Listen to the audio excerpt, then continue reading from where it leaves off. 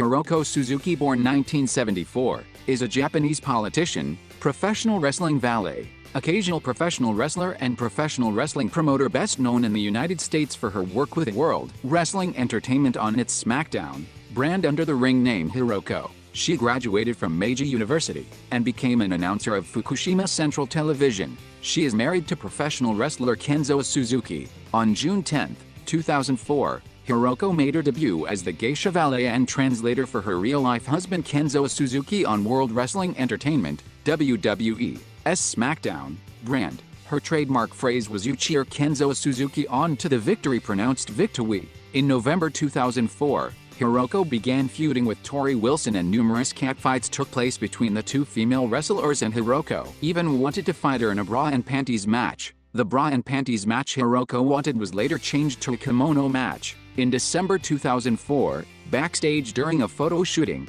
Torrie Wilson was given a bouquet of flowers from Kenzo. This angered Hiroko and stripped Torrie to her underwear. This made Torrie chase, and eventually caught up to, Hiroko and strip her to her underwear as well. On an episode of SmackDown, held in Japan airing February 10, 2005, the kimono match was then held.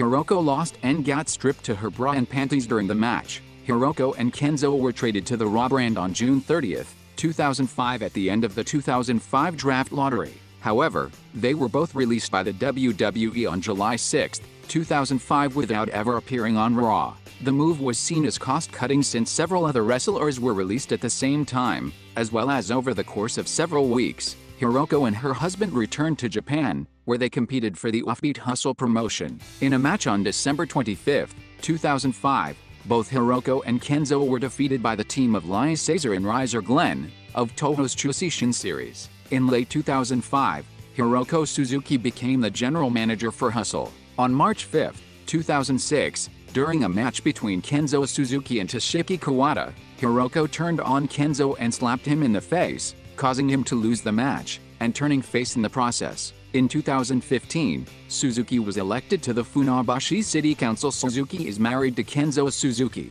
whom she accompanied as his valet during his time with the WWE. Thanks for watching the video. Soon new video from the channel.